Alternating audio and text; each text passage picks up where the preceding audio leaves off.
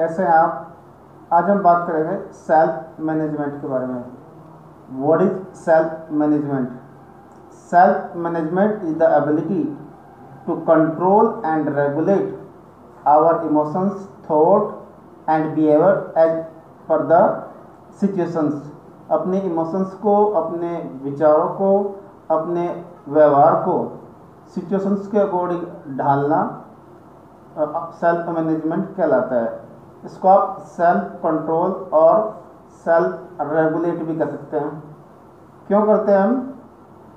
To achieve the predetermined goals पहले से जो आपने गोल निर्धारित किए हुए हैं, उनको अचीव करने के लिए आप सेल्फ मैनेजमेंट का सहारा लेते हैं।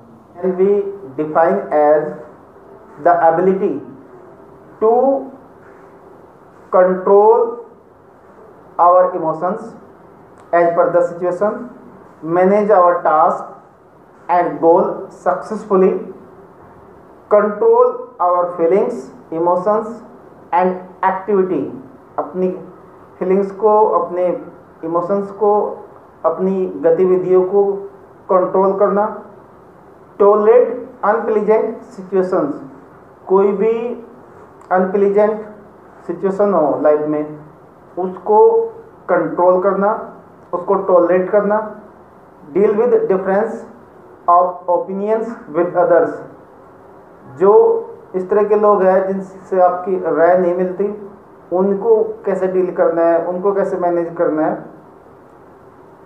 लर्न न्यू आइडियाज़ सिंसरली कोई भी नया आइडिया आप सीखने जा रहे हो तो उसको बड़ी ईमानदारी के साथ में सीखे, बड़ी मुस्तैदी के साथ में सीख बात करेंगे stress and its type stress और उसके प्रकार। सबसे पहले बात आती है what is stress stress is a feeling of emotional और फ़िज़िकल टेंशंस भावनात्मक या शारीरिक टेंशन को आप स्ट्रेस कह सकते हैं। It is our body's reaction to a challenge और डिमांड कोई भी आपके सामने कोई चैलेंज है या आपकी कोई डिमांड है आपकी बॉडी की तो उसका रिएक्शन है। It can come from any event और thought that make us feel frustrated angry और नर्वस तो uh, इसका मतलब हुआ कहीं से आ सकता है it can came from any event किसी घटना से और थॉट कोई विचार से that make us feel, first जिसकी वजह से आप फ्रस्ट्रेटेड महसूस करते हो, आपको गुस्सा आ जाता है, आप नर्वस फील करते हो। Stress means different things to different peoples क्या मतलब? कि हर इंसान के लिए स्ट्रेस के अलग अलग मीनिंग होते हैं। फॉर एग्ज़ाम्पल एक एग्जीक्यूटिव को आप ले लीजिए, उसको कोई मीटिंग अटेंड करनी है तो उसको स्ट्रेस हो सकता है।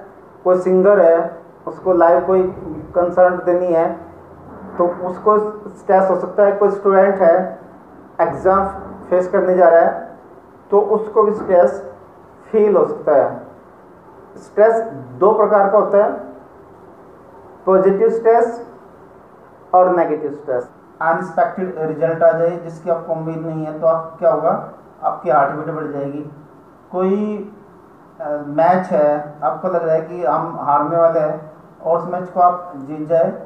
तो यहाँ यहाँ पे भी ये this is called positive stress आपकी हार्ट बीट भी बढ़ रही है आपके जो हार्मोनल चेंज भी हो रहा है, लेकिन पॉजिटिव उसमें हो रहा है। दूसरा है आपका negative stress mostly stress strike us in negative way ज़्यादातर जब स्ट्रेस है वो मेरे ऊपर नेगेटिव वे में ही स्ट्राइक करता है। It comes from the fear of losing failing our working in such situations see stress as a destructive force such situations effect us in a harmful way इस तरह की सिचुएशन में ये हमारे लिए बहुत ही घातक हो सकता है।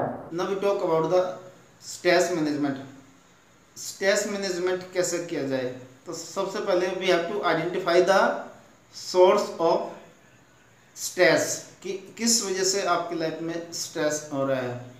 तो there can be many reasons बहुत सारे कारण हो सकते हैं। To identify the true source of stress look closely at your habits attitude and excuses तो आपको पूरी सच्चाई का पता लगाने के लिए आपको अपने हैबिट्स पे ध्यान रखना पड़ेगा बहुत क्लोजली अपनी नज़रिए पे और जो भी आप एक्सक्यूज करते हो उन पे।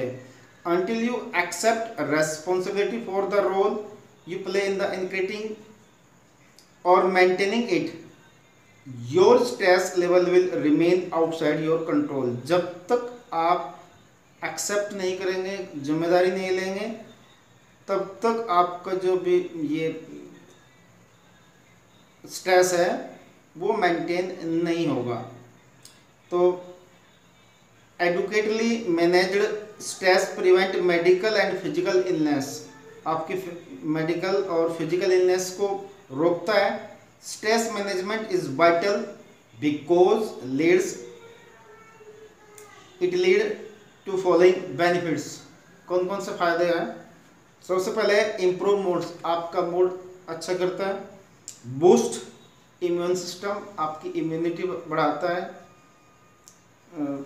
promotes longevity leads to burst of physical strength which is vital for goal achievement complete mental and physical engagement for task and accomplishment increase efficiency and effectiveness prevent physical and psychological disorder. आपके जितने भी psychological मनो वैज्ञानिक और शारीरिक disorder है, उनको भी आप मैनेज कर सकते हो। आज की वीडियो में इतना ही। जल्दी मिलते हैं बाकी के इसके लिए। Thank you very much